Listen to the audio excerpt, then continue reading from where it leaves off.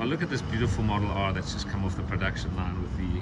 hand-stitched leather grips, color display, beautiful basket with the inliner,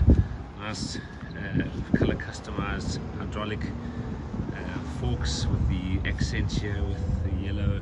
MIK rack, beautiful with the dog basket that just clicks into place. Just an all-round beautiful bike, color customized. We paint it any color you like, and